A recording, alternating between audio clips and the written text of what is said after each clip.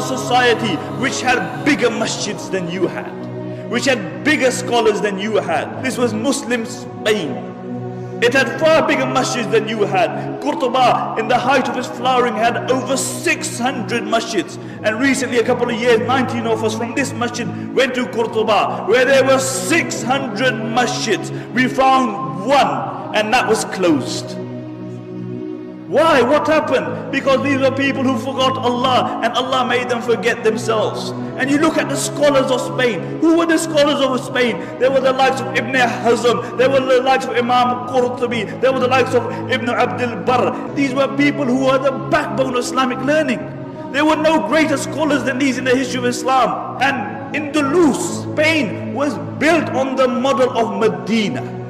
And as long as their focus remained on Medina, they flourished. But when their focus turned toward the dunya, then that same progressive society sank because the Muslims were not created for the dunya.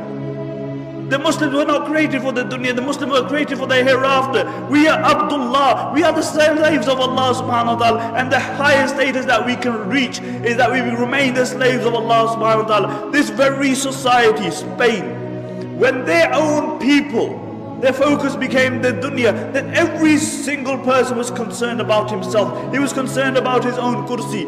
And the narrations mention that the rulers of Spain, what they would do, that the Muslims would actually make treaties with the Christians and they would fight against their own Muslims. They would fight against their own Muslims. And really these were the Abu Righals of that time. And throughout history you see, you will find Abu Righal. Do you know who Abu Righal was? Do you know who Abu Righal was? Abu Righal was a man who lived in Taif. And when Abraha, the Yemeni Christian governor, came to destroy the Kaaba, Abu Righal told him, Look, I'll show you where the Kaaba is as long as you give me a few pounds. So Abraha agreed. When Abu Righal reached the outskirts of Makkah, he died. And what the Arabs would do, they would pelt his grave with stones because he was a man who was ready to sell his religion and his people for a dollar and a dime. And until today, the Arabs say, if they see a person of a deceptive nature, they say, Huwa Abu Righal. He's Abu Righal. And these were the Abu Righals of that time. And one place after the other fell in Muslim Spain.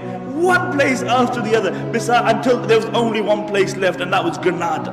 And Granada fell 50 years after the rest of Spain until Abu Muhammad he drew a treaty with the Christians on the condition that he would allow them to take over on the condition that they would not persecute the Muslim, that they would not forcefully convert the Muslims, that they would not remove the Muslim from their post. And when the Christians came in, the first thing they did, they reneged on their promise.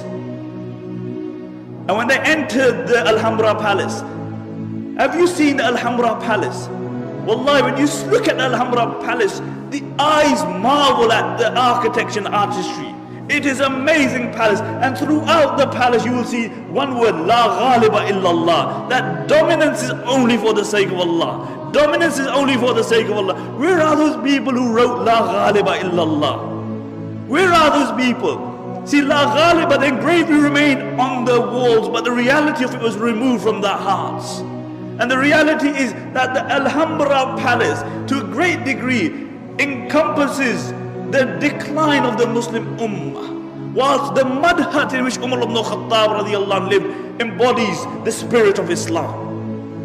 And really, when these Christians, they walked into the Alhambra, they found the highest place that they could find. And they erected a crucifix there. And when Abu Muhammad saw this, he began to cry.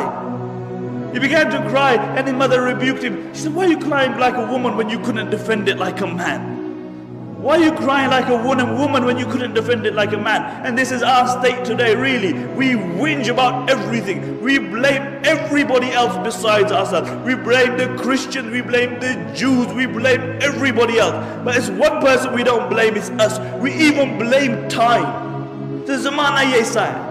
As Arabic poet says, it's a na'ibu zamanana wal aibu fina wa ma li zamanina aibun siwana. He said, we find fault in time, but the reality is that the fault lies within us. And if there was any one fault in time, if there was any one fault in time, it is that it has to carry the likes of me and you. That's the only fault with time. لا تكونوا كالذين نسوا الله فأنساهم أنفسهم Do not be like those who forgot Allah and Allah made them forget themselves.